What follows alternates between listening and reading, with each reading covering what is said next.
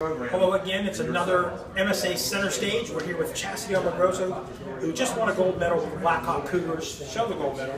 Let, let the fans see it. Chastity, uh, you guys had some tough losses to this sophomore team last year. Everybody's been asking you about it. How sweet does the revenge feel?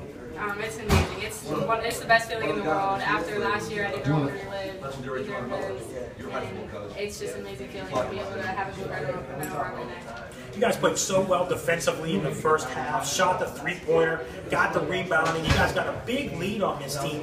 They came back strong. Were you worried at all in the fourth quarter when they cut the lead to three? Um, I, I mean, I wasn't really worried. I knew we had to stay focused. I knew I had to keep my composure and stay calm and just like keep everyone uh, focused on just like hitting the free throws when they counted. And we knew we just had to just uh, keep like What's it mean to you to be winning this with your teammates, the girls you've been playing with since your freshman year? You guys have all played together since you were young kids.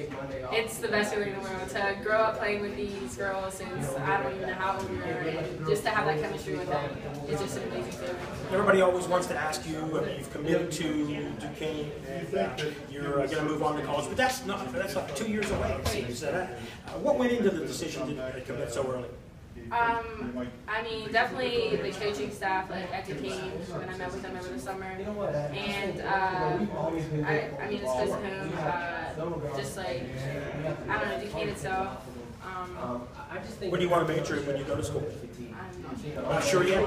That was a long way to go. You still have a lot of things to think about, like uh, the state playoffs coming up. Uh, talk to us about that, because this team knocked you out of the state playoffs last year as well. Right. Um, we just got to take it game by game, uh, and we know our next goal is to get to Hershey. And we have to take it game by game. And, uh, We're here with Chassidy Omogrosso, the Blackhawk Cougars. She just won a WPIAL gold. She, you'll have that for the rest of your life, no matter what. But you got a chance to do it again. You guys all come back. You only lose a couple seniors. Uh, what keeps this team together? Uh, how, how do you guys stay together and play so well?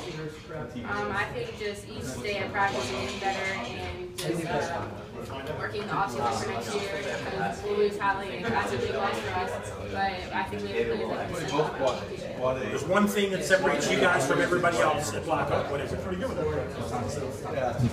Teamwork, hard work, dedication, practice. There's a million things you could say. Um, speechless. Chassidy She's got the gold medal, and the gold medal makes her a little bit speechless. Well, uh, we're here again with Chassidy Omogrosso. It's been another edition of MSA Center Stage.